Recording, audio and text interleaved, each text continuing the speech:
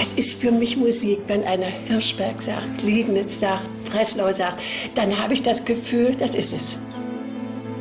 Die Höfe und Güter im ländlichen Teil Schlesiens sind bis 1945 in Familienbesitz, vererbt von Generation zu Generation. Das schafft tiefe Bindungen. Insofern bin ich ein Schlesier, weil ich dort geboren bin und weil ich dieses Land einfach liebe. Ein Land vielfältiger Kultur, mit einer großen polnischen Minderheit und mit vielen jüdischen Gemeinden. Schlesien haben sehr viele Juden gelebt. Alle, überall, in alle, alle ganz Schlesien war voll. Jahrhunderte wurde um das Land gekämpft. Das besondere Selbstverständnis der Schlesier wurde von den Siegern meist unterdrückt. Die Tragödie meines Lebens besteht vorläufig darin, ich könnte es so umschreiben, weil ich nie ernst genommen wurde als Schlesier. Mit dem Zweiten Weltkrieg ist hier die deutsche Geschichte zu Ende gegangen.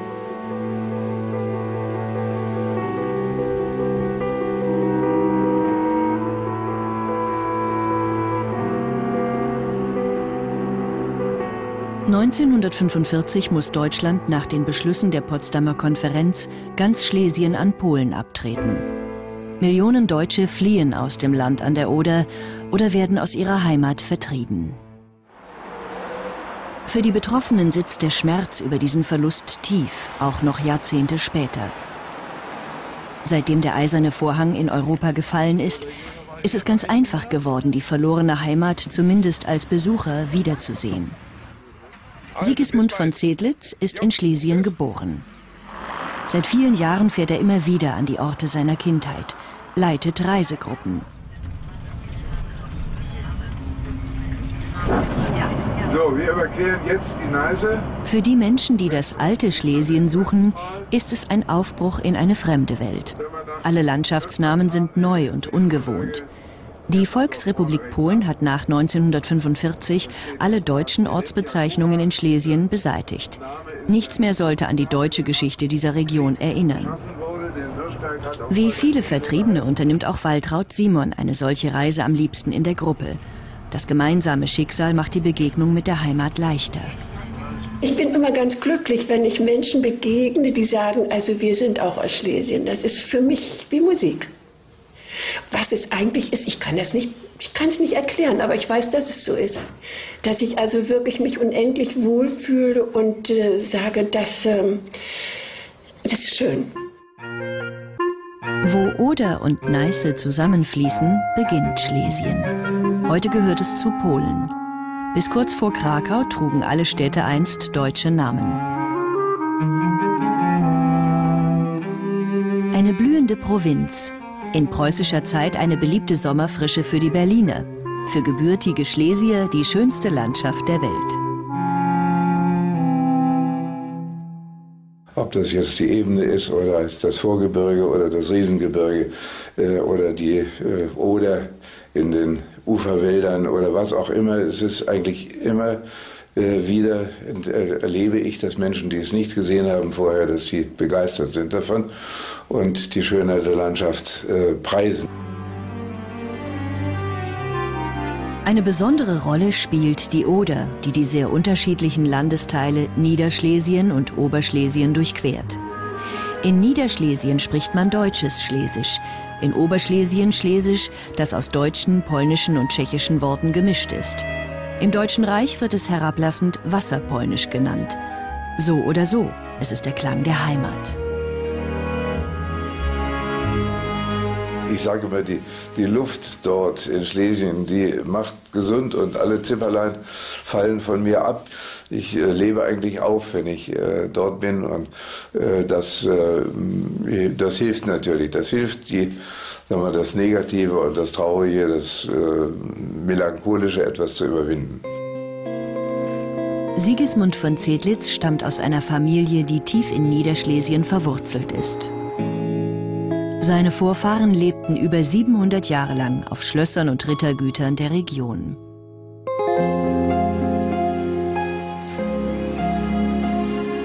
Von Zedlitz wächst hier in Eichholz auf, südwestlich von Breslau. Der Vater ist mit einer Gräfin verheiratet, in deren Familie es auch polnische Vorfahren gibt. Nichts Ungewöhnliches in Schlesien.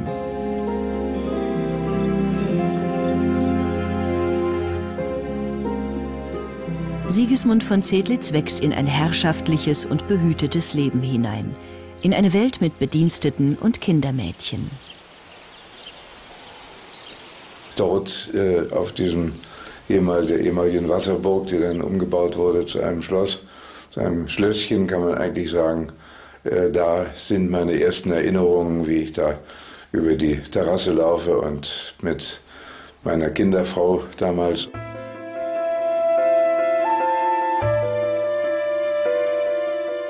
Das Kindermädchen ist die engste Vertraute. Mit ihr verbinden sich die frühesten Erinnerungen. Das war so eine völlig unbedeutende äh, Sache, dass äh, viel wilder Wein dort wuchs auf den, an den Mauern und dass mir das Kindermädchen erklärte, dass diese blauen Beeren, die dort wachsen, dass das also für, von den Vögeln sehr gerne gefressen wird. Und das sind, ist meine erste Erinnerung, soweit ich mich entsinnen kann. Der Blick aus dem Fenster des Kinderzimmers. An den Abenden schreit hier das Käuzchen und im frühen Sommer ruft der Kuckuck vom Wald. Der Schlosspark ist oft Spielplatz für die Kinder des Dorfes, die alle gemeinsam eine Schule besuchen. Sie ahnen nichts von Politik, spielen Indianer und Verstecken, träumen vom eigenen Taschenmesser, von wilder Jagd. Erzogen werden sie in preußisch-deutschen Traditionen, gottesfürchtig und obrigkeitstreu. Die alten Gräber sind überwuchert und die Kapellen zerfallen. Die letzten deutschen Spuren auf dem Friedhof. Nach 1945 behauptete der polnische Staat, Schlesien sei immer rein polnisches Land gewesen. Erst heute entdeckt man in Polen allmählich die deutsche Vergangenheit.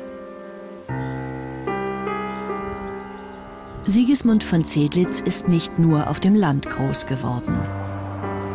Zu seinen prägenden Erinnerungen gehören Aufenthalte in Breslau. Wie viele Adlige verfügt auch sein Vater in der Provinzhauptstadt über eine Wohnung. In der Nähe der Oder.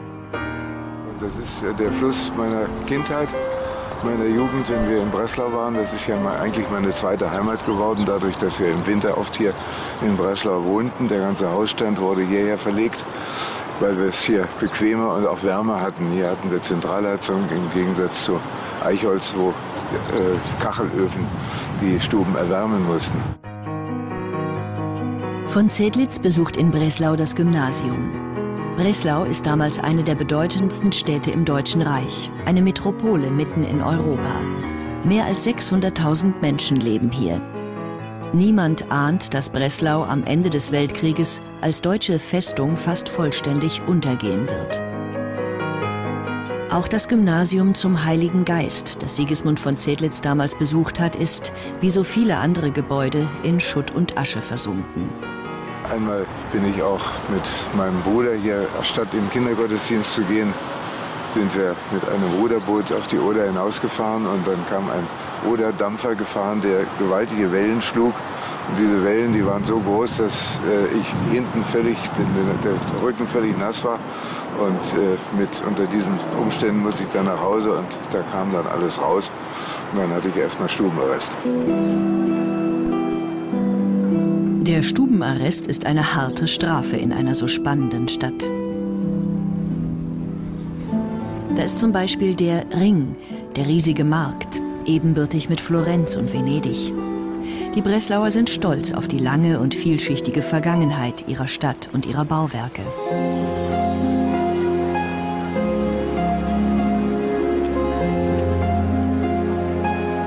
An der berühmten Universität werden nicht nur Philosophie und Theologie gelehrt. Hier werden neue Methoden für die Landwirtschaft, für Metallverarbeitung und Maschinenbau erforscht und erprobt.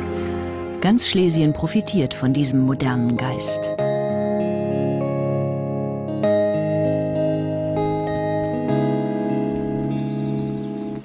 Etwa 50 Kilometer von Breslau entfernt liegt Javor.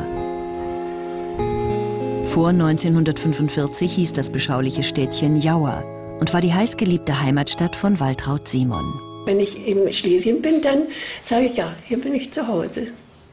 Und ich bin ganz oft äh, immer wieder, ähm, auch meine eigenen Kinder, dass sie sagen, was du es immer hast mit Jauer, was ist das? das? Ich kann es nicht beschreiben, es ist so übermächtig.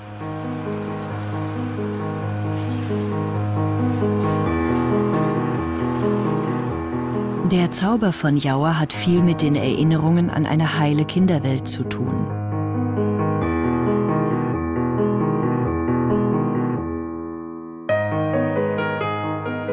Äußerlich sieht noch vieles aus wie früher. Die berühmten Laubengänge, die an die großen Zeiten des Leinenhandels erinnern. Wie ein märchenhaftes Labyrinth mit all den Düften und Gerüchen des Marktes. Das Rathaus mit den alten schlesischen Wappen. Die Fassaden der Häuser schmücken kunstvoll Ornamente. Die kindliche Fantasie entdeckt darauf Elfen und hinter den Portalen sollen einst Zauberer gehaust haben. Für Waltraud Simon hätte das Leben hier immer so weitergehen können. Ich habe eine Schwester, eine ältere Schwester, Brigitte. Ähm, Mutti war Hausfrau und mein Vater ist als Jugenddiakon in Jauer gewesen, hat äh, im Kirchenbüro mitgearbeitet, hat Orgelunterricht gehabt in Liegnitz wollte sehr gern eigentlich in Richtung Organist gehen, Kirchenmusiker werden, aber das hat sich dann alles durch den Krieg zerschlagen. Waltraud lebt in einem evangelisch geprägten Elternhaus. Die große Mehrheit der Niederschlesier ist protestantisch, schon seit der Reformation. Aus den Fenstern der Wohnung können Waltraud und ihre Schwester die Friedenskirche sehen. Sie ist sichtbarer Ausdruck dafür, wie umkämpft das Zusammenleben der Religionen in der Vergangenheit war. Nach dem Dreißigjährigen Krieg durften die unterlegenen Protestanten ganze drei Kirchen haben, davon eine in Jauer, für bis zu 6000 Menschen. Waltrauds Vater spielt hier gelegentlich auf der Orgel. Die Kirche ist das äh, Grundstück, das ist das ähm, ja, das ist Jauer. Das ist Jauer, das ist Heimat, das ist Elternhaus, weil meine Eltern ja im Grunde auch mit der Kirche verbunden waren.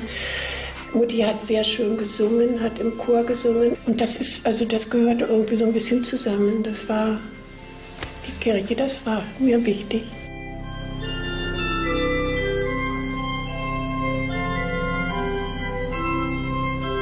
Aber in der Kirche gehen die Gedanken auch zu ganz weltlichen Dingen. Und dann waren wir in der Kirche am Heiligen Abend, da war natürlich auch immer voll. Und dann sagt die Mutti mir, Brigitte, ich habe das Sauerkraut nicht ausgemacht. Und hat das da also immer vor sich hingekocht. Das war wahrscheinlich dann vorbei und war schlecht. Familie, Kirche und Musik, alles ist schön in Jauer. Nur die Schule mag Waltraud nicht. Die Schule eigentlich überhaupt nicht bin ich ganz ungern gegangen. Wir hatten eine, eine Lehrerin, Fräulein Turenz, das war so eine unästhetische Frau, das hat mich als kleines Kind schon gestört. Und die, wenn wir da gequatscht haben, hat die uns noch mit dem Rohrstock gehauen auf die Finger. Das fand ich also so hässlich. Und ich habe immer gesagt, also Mutti, heute kann ich nicht zur Schule gehen. Ich glaube, du musst mal Fieber messen. Und dann hat sie auch gesagt, Kind, aber das gehört doch dazu. Aber ich konnte es nicht einsehen.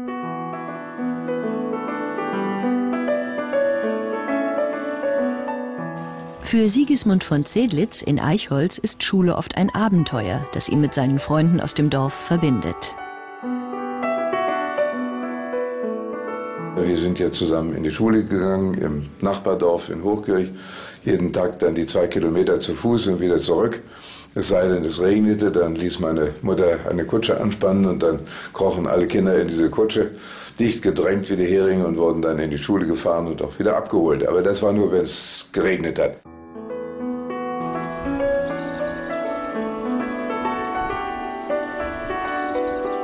Sonst liefen wir die zwei Kilometer hin und auch wieder zwei Kilometer zurück und waren natürlich so eine, äh, eine Gemeinschaft, die in der gleichen Klasse unterrichtet wird, die hält dann auch zusammen.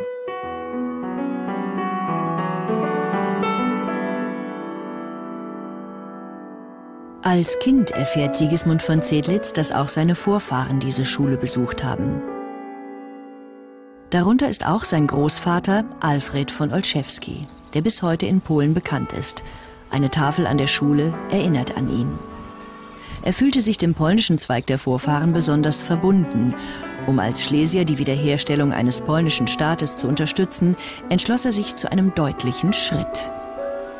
Dann kam die ganze Geschichte mit dem Testament meines Großvaters, der ja seinen ganzen Besitz in seinem Widerspruchsgeist zwar seinen Kindern und seiner Frau vererbt hat, aber gesagt hat, nur unter der Bedingung, dass sie nicht sich mit einem Mitglied der preußischen Bürokratie verheiraten, sondern dass sie äh, im Gegenteil äh, ihr den polnischen Ursprung der Familie nun hochhalten und in Ehren halten und Polnisch lernen und die polnische Geschichte auch lernen und darüber dann bis zu ihrem 30. Lebensjahr sollten die Kinder eine Prüfung ablegen. Nur dann und wenn diese Prüfung bestanden wird, sollten sie auch Erben werden. Doch die Witwe und die Töchter weigern sich, die polnische Sprache zu erlernen. Nun soll ihr Erbe laut Testament an den polnischen Nobelpreisträger Henryk Sienkiewicz fallen. Aber der lehnt ab, Schloss und Gut zu übernehmen. In den Wirren des Ersten Weltkrieges gerät die Sache dann in Vergessenheit. Aber es ist trotzdem die ganze Geschichte eben damals in Polen sehr bekannt gewesen. Und so hat man dann in Anlehnung an diese Vergangenheit und diese Tradition hat, hat man dann, ich weiß jetzt nicht genau in welchem Jahr, es ist vor, vor ungefähr 10 bis 15 Jahren gewesen, hat man dann an den Namen Warmontowice auch noch das Schenkiewicz angehängt, sodass es heute heißt Warmontowice Schenkiewitschowski. Das ist also einer der längsten Ortsnamen, die man in Schlesien überhaupt hat.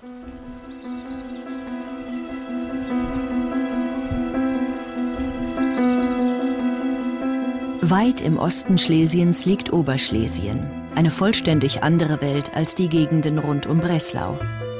Vor allem hier wird die polnisch-schlesische Mundart, das Wasserpolnisch, gesprochen. Viele Einwohner haben hier polnische Vorfahren und fordern, dass Schlesien zu Polen gehören soll. Seit dem 18. Jahrhundert ist hier ein riesiges Industrierevier entstanden. Eisenerz und Kohle werden in großen Mengen gefördert und verhüttet.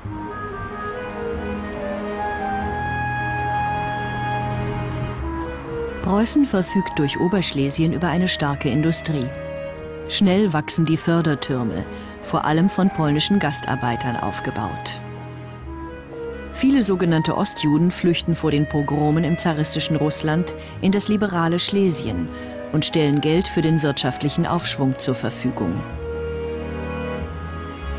So auch die Vorfahren von Josef Jakubowitz. Mein Großvater, der hieß von der Mutter der Vater hieß Josef Friedmann.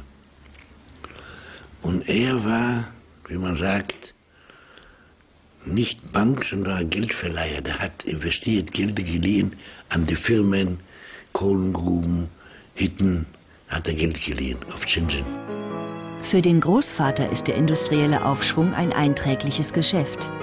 Mehr als zwei Millionen Tonnen Stahl produzieren die Schlesier bereits vor dem Ersten Weltkrieg jährlich. 10.000 Stahlarbeiter schuften allein in Königshütte. Eine ganze Stadt lebt nur vom Stahl.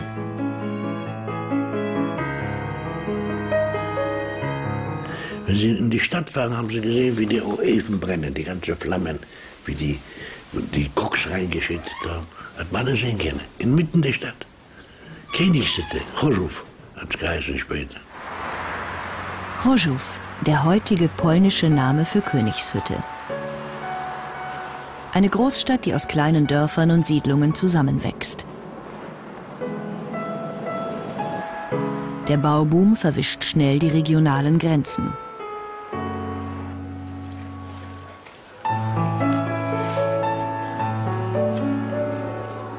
Es entstehen bürgerliche Viertel und überall werden Wohnungen und Siedlungen für die vielen Arbeiter gebraucht.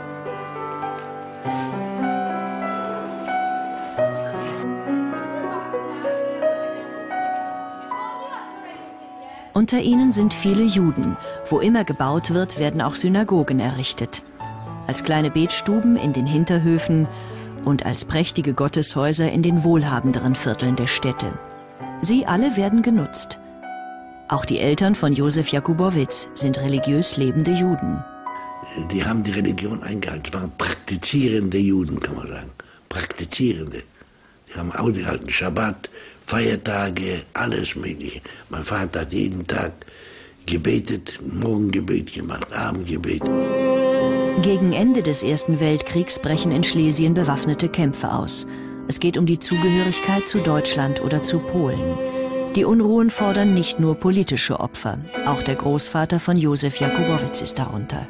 Und 1918, wo der Krieg fast zu Ende war, haben ihm, war Überfall in die Wohnung und man hat ihn umgebracht, erschossen.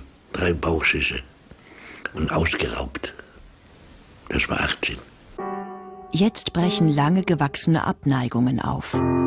Die Polen werfen den Deutschen vor, sie jahrzehntelang unterdrückt zu haben. Die Deutschen wehren sich dagegen, Schlesien zu verlieren. Eine Propagandaschlacht beginnt, voller Unterstellungen und Bitterkeiten, auf beiden Seiten. Der Völkerbund schickt italienische, französische und englische Soldaten in das umkämpfte Oberschlesien. Eine Volksabstimmung soll 1921 über die staatliche Zugehörigkeit dieser von Deutschen und Polen für sich beanspruchten Region organisieren. Die Schlesier votieren in den meisten Bezirken mehrheitlich für Deutschland.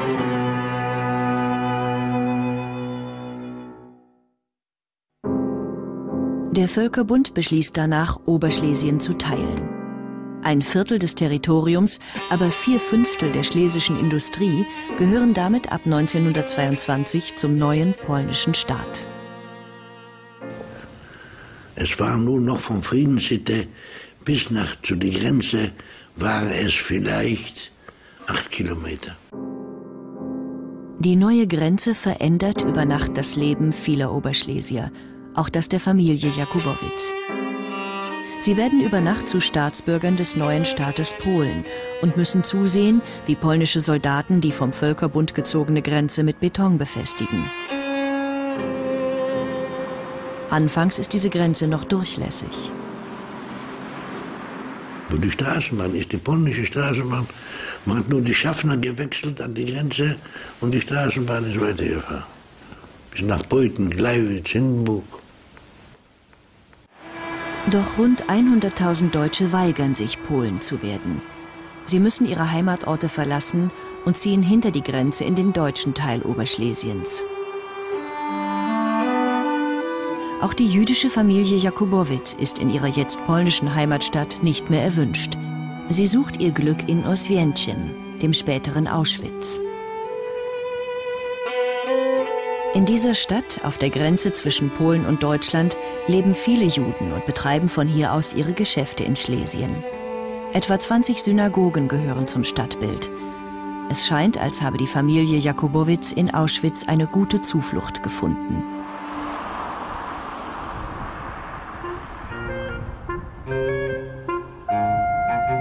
Im deutschen Teil Oberschlesiens leben rund 500.000 Polen.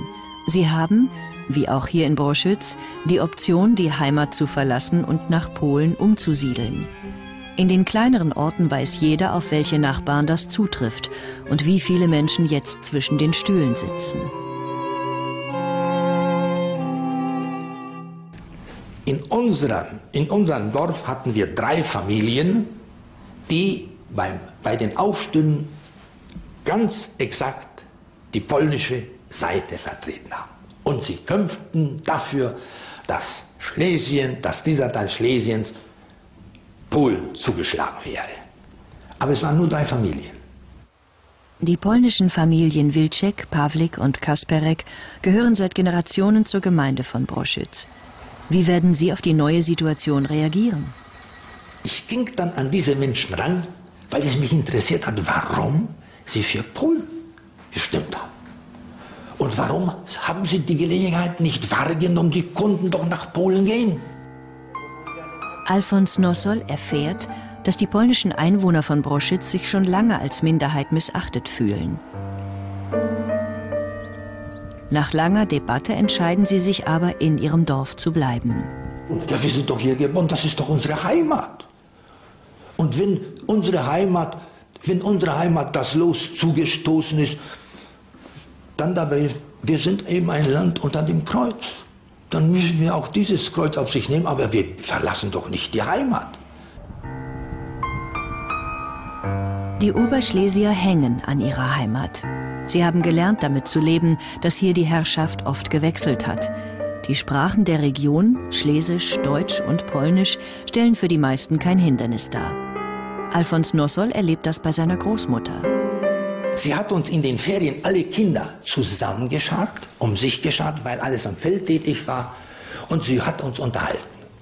Und sie hat uns in einer, aus einer Bibel eben die biblische Geschichte vorgelesen. Der Enkel wird neugierig. Er möchte die Geschichten in der kostbaren Bibel einmal selbst lesen. Dabei stellt er fest, dass seine Großmutter für die deutsche Kinderschar die ganze Zeit übersetzt hat. Aber ich habe es gesehen. Ich konnte es nicht lesen. Es war eine polnische Bibel, literarisch polnisch. Ich konnte es nicht lesen. Sagt er, ja, in welcher Sprache? Sagt er, polnisch. Aber du hast uns doch Deutsch gelesen. Und in die, ein herrliches literarisches Deutsch, in dem sie polnisch gelesen hat. Nicht? Zum Selbstverständnis der katholischen Oberschlesier gehört die Wallfahrt zum Annaberg. Die Kapellen in der Landschaft weisen den Weg. Seit Jahrhunderten ist das so. Alfons Nossol kommt schon als kleiner Junge hierher. Ich war noch nicht neun Jahre und äh, war, hatte schon den ersten, die erste Wallfahrt mit der Mutter nach dem Annaberg machen können, dürfen. Also zumindest 17, wenn nicht 18 Kilometer. So als kleiner Bub, diese 18 Kilometer mit kleinen Schritten, drei Tage zu bleiben.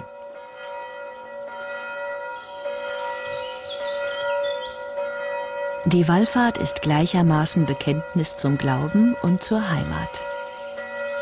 Kloster und Kirche auf dem Annaberg sind ganz selbstverständlich ein Zuhause für die Pilger. Hier wird seit Jahrhunderten Deutsch und Polnisch gepredigt. Alfons Nossol erlebt es als Alltag. Und dann schliefen wir einfach in der Klosterkirche. Ich habe mich so gegen den Beistuhl gelehnt, angelehnt und habe geschlafen.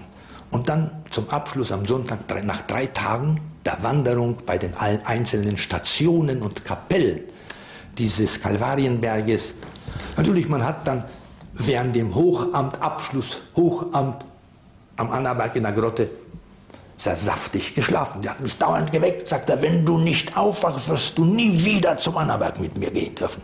Du bist hier gekommen, um zu beten und nicht um zu schlafen. Schlafen darfst du zu Hause.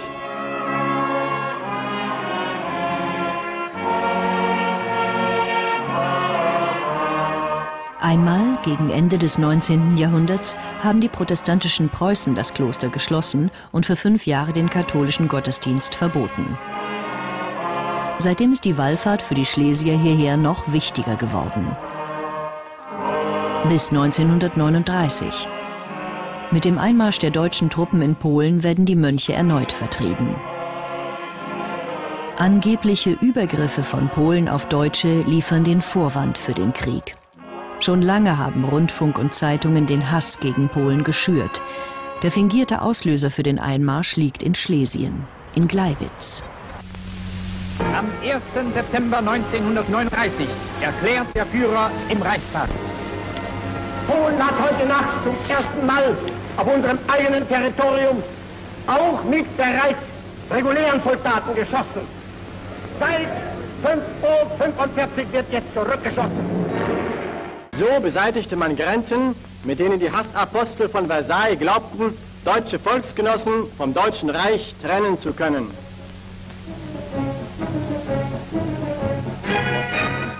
Viele Deutsche im polnischen Teil Oberschlesiens jubeln den Truppen der deutschen Wehrmacht zu und feiern den Kriegsbeginn als Befreiung. Ein wesentliches Ziel des Krieges die Unterwerfung der polnischen Bevölkerung als sogenannte minderwertige Rasse. Vom ersten Kriegstag an werden polnische Männer und Frauen von Wehrmacht und SS verhaftet, verschleppt, ermordet. Vor allem die Führungsschicht soll ausgelöscht werden. Lehrer, Priester, Wissenschaftler, Unternehmer. Doch wer ist im eroberten polnischen Oberschlesien Deutscher? Und wer Pole? Die Besatzungsmacht zwingt alle Oberschlesier, ihre Abstammung und Gesinnung zweifelsfrei zu beweisen. Wehrmachtssoldaten durchsuchen die Wohnungen nach polnischen Büchern. Sie registrieren die Besitzer und verbrennen die Funde in aller Öffentlichkeit. 1941 wird als Instrument der Germanisierungspolitik die sogenannte Deutsche Volksliste eingeführt. Nach strengen Kriterien werden Einwohner zwangsweise in vier Kategorien eingeteilt und erhalten Ausweise in verschiedenen Farben. Auguste Junig hat Glück. Der blaue Ausweis gestattet ihr zu arbeiten. Inhaber grüner und roter Ausweise gelten als minderwertige Deutsche. Wenige Wochen nach Kriegsbeginn kapitulieren die letzten polnischen Truppen. Ihre Soldaten werden als Kriegsgefangene in Lager gebracht. Auch in Schlesien, in Lambsdorff, dem heutigen Wambinowice, treffen diese Transporte ein.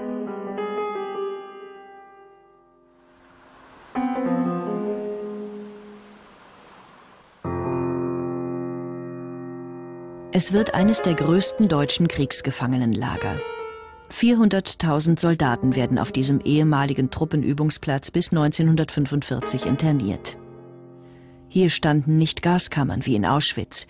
Man ließ die Gefangenen verhungern. Über 40.000 starben an Unterernährung, Entkräftung und willkürlichen Misshandlungen.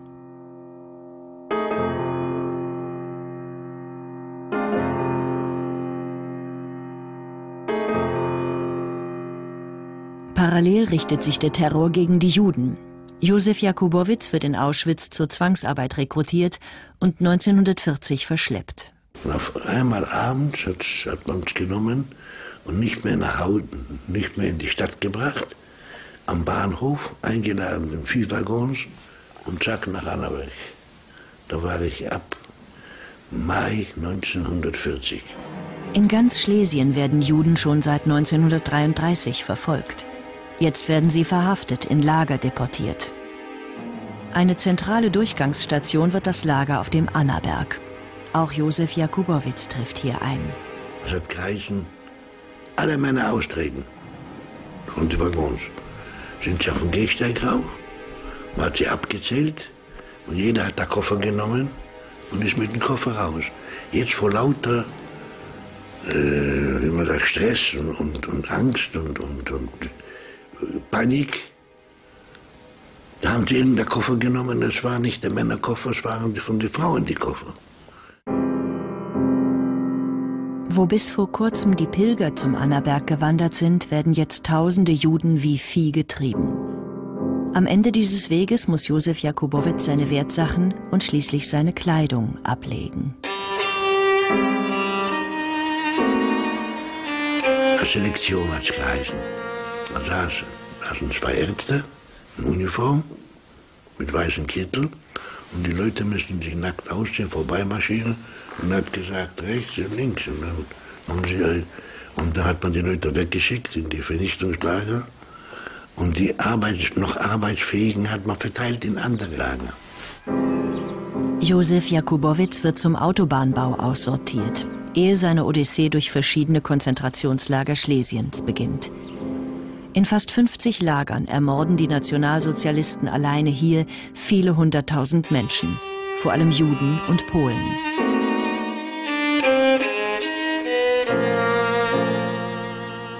Die deutschen Männer aus Schlesien werden nach und nach alle als Soldaten eingezogen. Bis Ende 1944 herrscht in den Landschaften an der Oder trügerische Ruhe. Man ist fern vom Bombenkrieg. Dann nähert sich die Front von Osten und die Frauen sind auf sich gestellt. Auch auf Schloss Eichholz. Dort wird die Flucht für alle Dorfbewohner unter Aufsicht der ältesten Schwester von Sigismund von Zedlitz vorbereitet. Das ging alles eigentlich nur heimlich, denn solche Vorbereitungen waren Defetismus nach Nazi-Redensart und eigentlich, äh, und da konnte man ganz furchtbare Unannehmlichkeiten bekommen bis, zum, bis zur Hinrichtung, dass man also hier äh, glaubte eben, dass der Endsieg dann doch nicht kommt und so weiter. Das, das war ganz, ganz schlimm. Aber deswegen musste das alles heimlich gemacht werden. Aber es ist geglückt und die sind dann soweit ich mich entsinne, am 8. oder 9. Februar sind sie dann, ist dann der gesamte Guts- und Dorfträg dann losgezogen und dann übers Riesengebirge bis ins Sudetenland und dort äh, ist er dann angehalten worden und durfte nicht mehr weiter.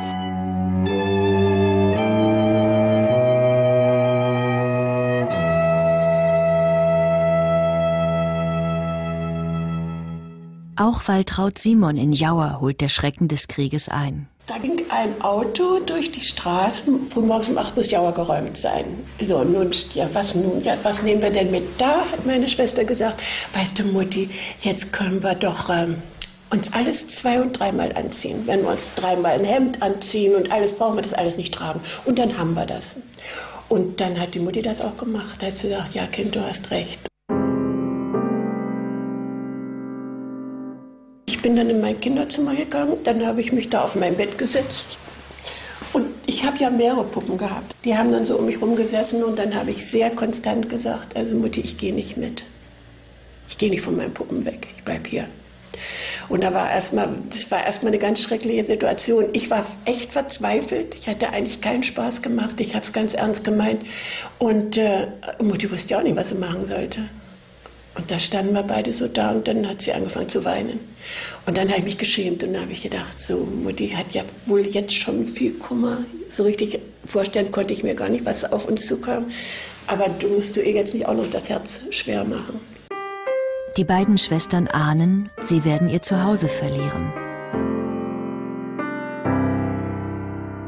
Im Februar 1945, es ist bitterkalt, beginnt die Flucht. Es ist ein Weg in die Ungewissheit. Wie ihnen ergeht es etwa drei Millionen Schlesiern. Sie alle versuchen, sich in Sicherheit zu bringen, bevor die Rote Armee ihre Heimat erreicht.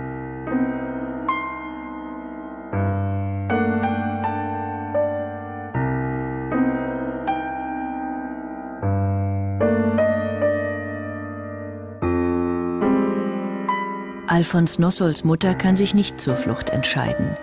Sie hält an Heimat und Zuhause fest und will hier auf die heimkommenden Männer der Familie warten. Und die Mutter sagte, wo sollen denn eure Eltern, Geschwister heimkommen, nach Hause kommen, wenn es kein Zuhause mehr gibt? Auch der Vater also aufgrund dessen, wir müssen warten, bis die Familie zusammenkommt. Auch die Polen von Broschütz mussten in den Krieg ziehen. Sie sterben in deutscher Uniform.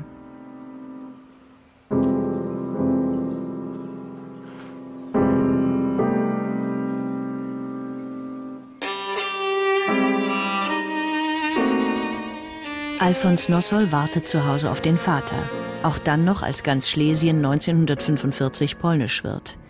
Für ihn beginnt ein neues Drama.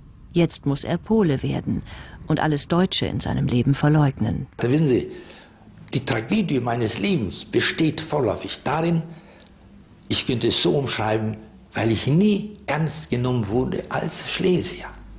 Sowohl in der Hitlers Zeit deutscherseits, am Lande, wo man uns Wasserpolacken schimpfte, und dann später wieder verkappte Deutsche, wenn nicht gar Hitlerbunzen. Dauernd, man wollte uns als Schlesier nicht ernst nehmen. Wir mussten es aufgezwungen bekommen, so und nicht anders zu leben. Die meisten Deutschen, die nicht aus Schlesien geflohen sind, werden bis 1948 vertrieben. Alfons Nossol aus Oberschlesien bleibt und nimmt die polnische Staatsangehörigkeit an. Er macht das Beste daraus. Er legt auf Polnisch das Abitur ab. Im Sommer bearbeitet er das Land der Familie. Und auch seinen Lebenswunsch kann er sich erfüllen. Er darf Theologie studieren und wird Seelsorger.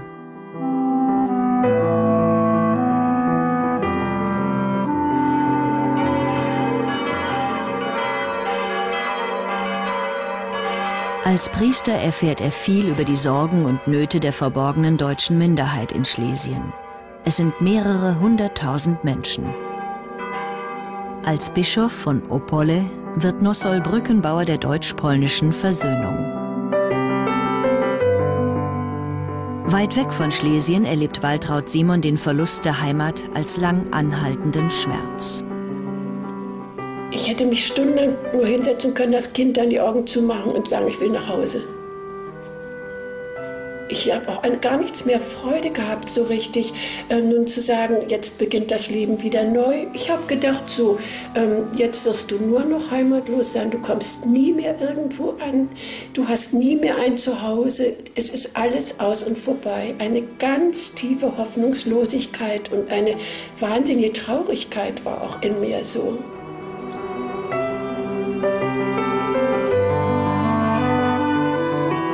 Doch es gibt Schlesier, die noch erheblich mehr verloren haben.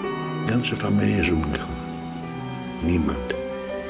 Ich habe noch eine Schwester, die jüngste Schwester, die war versteckt in Auschwitz bei den Polen. Was dann passiert ist, weiß man nicht mehr. Entweder jemand hat, hat verraten oder was und hat sie abgeholt. Aber ich habe jetzt recherchiert, ein paar Mal, wo ich dort war nichts zu machen, nichts zu finden. Die Volksrepublik Polen beschlagnahmt den Besitz der Deutschen, auch das Schloss der Familie von Zedlitz. Nach dem Fall der Mauer bemüht sich Sigismund von Zedlitz um sein Erbe. Vergeblich. Eine polnische Familie bekommt den Zuschlag, renoviert das Gebäude und macht aus dem einstigen Schloss ein Hotel. Der eigentliche Erbe kommt immer wieder als Gast hierher. Ich habe erst gedacht, kannst du das oder kannst du es nicht und habe es einfach ausprobiert und es ging und das Positive überwog dann. Wenn man dann äh, in der Nacht dann äh, die, die, das Kreuzchen rief und das Fenster war auf und die Nachtluft wehte rein. Das, das waren äh, positive, doch mehr positive Erinnerungen und ich habe es einfach gemacht und habe es genossen. Waltraud Simon sammelt nach der Wende Geld für die Renovierung ihrer Kirche im heutigen Javor. Zur Glockenweihe reist sie an und ist Gast in einer polnischen Familie, die selbst wie alle Polen hier erst nach der Vertreibung der Deutschen nach Schlesien gekommen ist. Die Familie versteht ihre Trauer. Die gemeinsame Heimat schafft eine Verbindung. In dieser Familie habe ich fast das Gefühl gehabt, ich bin ein Stück Familie begegnet die wirklich mit einer solchen Herzlichkeit auf mich zugegangen sind, äh, mich begleitet haben, diese Tage da äh, mit ganz großer Zuneigung und sie nachher geschrieben haben, als ich wieder weggefahren war, hatten sie auch das Gefühl, ein Stück ihrer Familie weggegangen. Heute versuchen viele Schlesier, die deutsche und die polnische Geschichte ihrer Heimat gemeinsam zu verstehen und zu erzählen. Mitten in Europa soll aus der Vergangenheit etwas wirklich Neues werden. Wir sind Deutsche und wir sind polnische Schlesier. Und da sind wir alle auf gleicher Ebene. Und das sind wir. Und das ist schön. Mhm.